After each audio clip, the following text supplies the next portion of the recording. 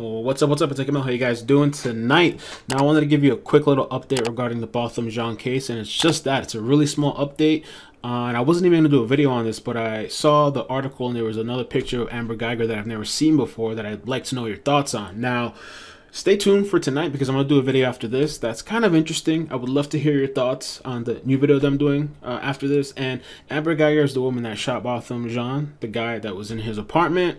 It was a, one of the biggest stories I've covered on my channel. Uh, and if you want to know or see any of the old videos, I have a series. I'll put the link up above. Now, um, the court trial, the trial was delayed until September. I guess it was due for July. Tammy Kemp signed an order Monday moving the trial from oh August to September.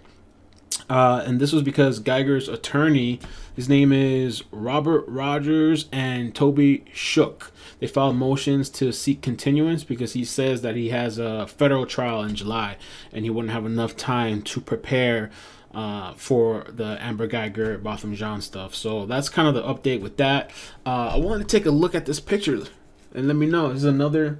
Every time I see a picture of her, I'm kind of like, like taken back a little bit because, as you guys remember, there was like the whole media blackout and all this stuff. They scrubbed all her information off the web.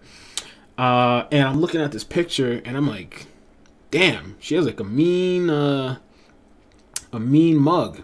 Either that or she's stressed out or she's angry or who knows, man.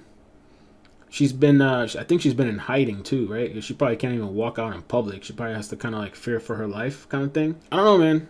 It's almost like an evil look. Like it's just, I mean, I, I mean, what do you expect? She, she can't walk in there smiling either, right? I wonder who took the picture.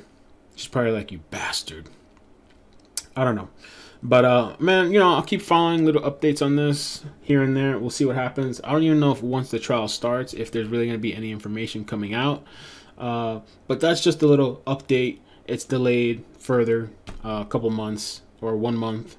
Uh, you know, yeah. So comment down below. Stay tuned for the next video. Peace.